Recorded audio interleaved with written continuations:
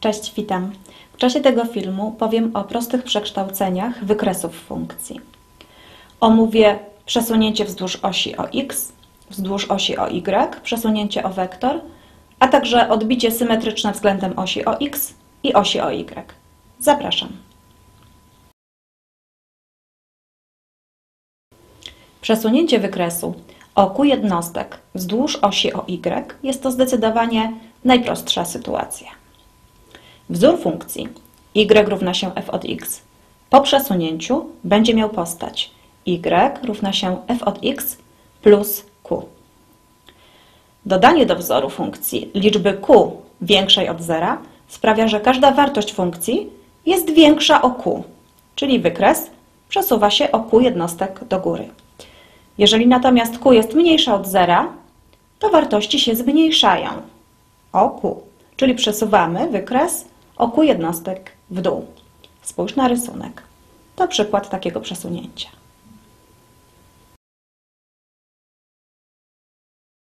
Przesunięcie wykresu o p jednostek wzdłuż osi o x. Tym razem wzór funkcji y równa się f od x po przesunięciu będzie miał postać y równa się f od x minus p. Jeśli liczba p jest większa od zera, to przesuwamy wykres w prawo, a jeśli p jest mniejsza od zera, to przesuwamy wykres w lewo. Zapamiętaj, że we wzorze jest minus. Na rysunku masz przykład takiego przesunięcia. I trzecie przesunięcie, przesunięcie wykresu o wektor PQ. W zasadzie jest to połączenie dwóch poprzednich sytuacji. Przesunięcie wykres o wektor PQ to dokładnie to samo, co jednoczesne przesunięcie o P jednostek wzdłuż osi o x i Q jednostek wzdłuż osi o y. Mamy więc wzór przesuniętej funkcji. y równa się f od x minus p dodać q.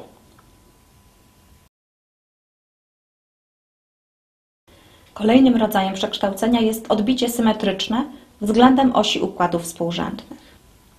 Odbicie wykresu funkcji y równa się f od x względem osi o x daje nam wykres funkcji y równa się minus f od x. Każda wartość dostaje wartość przeciwną. Spójrz na rysunek. To, co było nad osią x, odbija się pod oś, a to, co było pod osią, odbija się nad oś. Zapamiętaj, odbicie symetryczne względem osi o x daje wykres postaci y równa się minus f od x. Podobnie jest z odbiciem względem osi o y. Wykres funkcji y równa się f od minus x powstaje z wykresu y równa się f od x przez odbicie względem osi o y. To, co było na prawo od osi o y, odbija się na lewo i odwrotnie.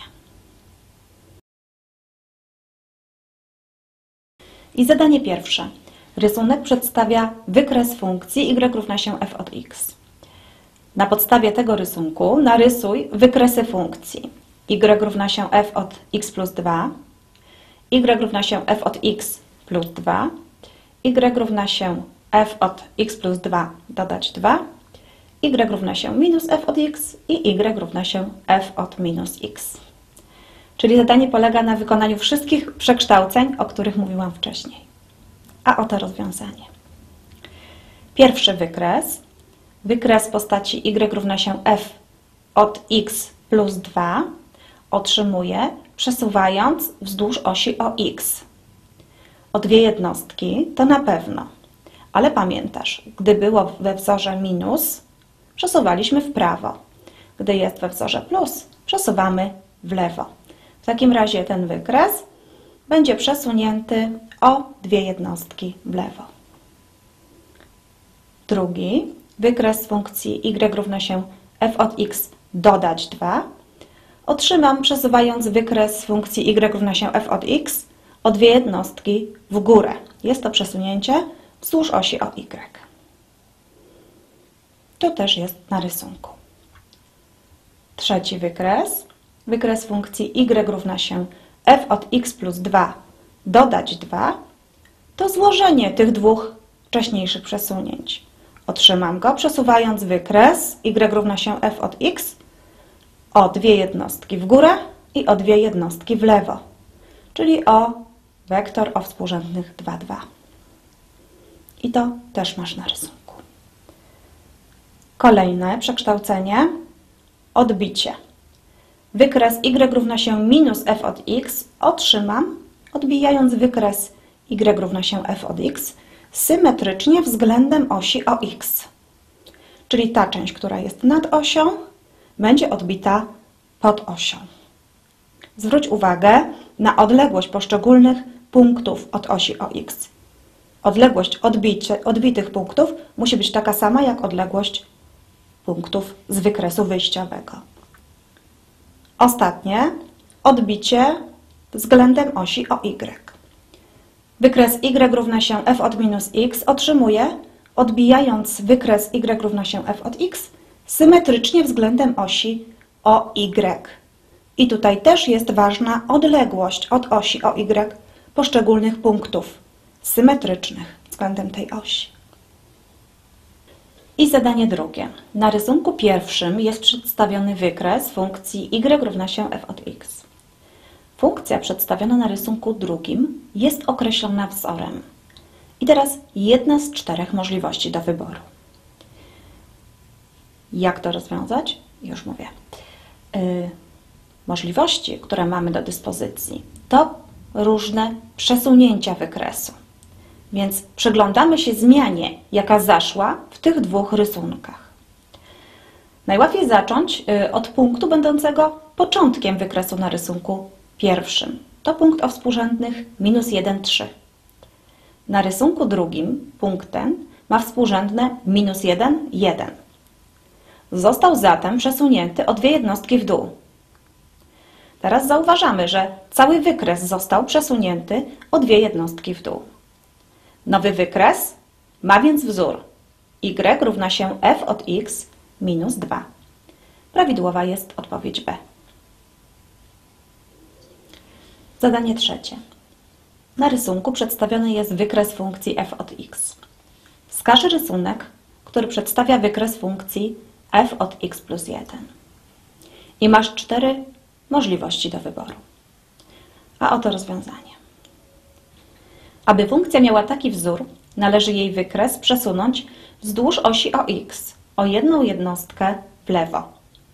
Wówczas punkt, będący początkiem wykresu, który ma współrzędne minus 1, 3, przesunie się na miejsce o współrzędnych minus 2, 3. I patrzymy, na którym wykresie początek, ten punkt, ma takie współrzędne. Tak jest w przykładzie D. Prawidłowy zatem jest wykres D. Zadanie czwarte. Rysunek przedstawia wykres funkcji y równa się f od x. Wskaż wykres funkcji g od x równej 1 dodać f od x minus 2. A oto rozwiązanie.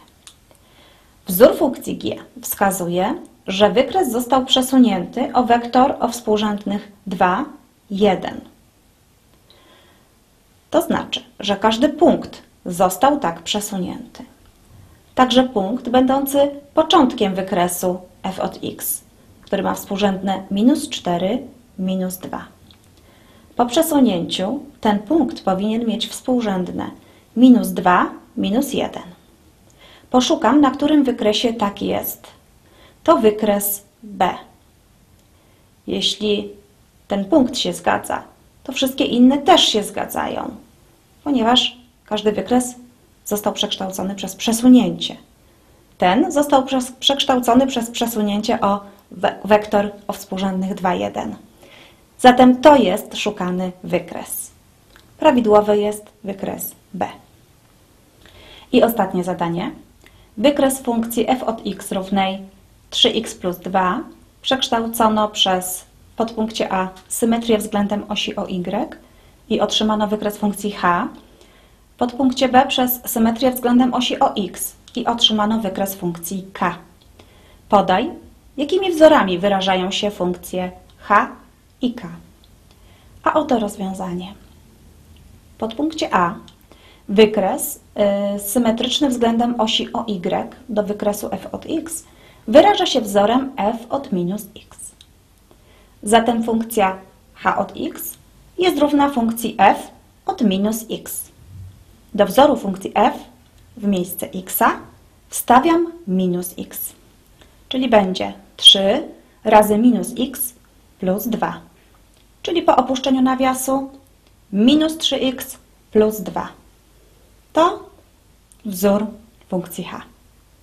W podpunkcie b wykres symetryczny względem osi OX do wykresu f od x wyraża się wzorem minus f od x. Zatem funkcja k od x jest równa funkcji minus f od x. Do wzoru funkcji stawiam przed całą wartość minus, czyli mam minus 3x plus 2. Po opuszczeniu nawiasu minus 3x minus 2. To wzór funkcji k.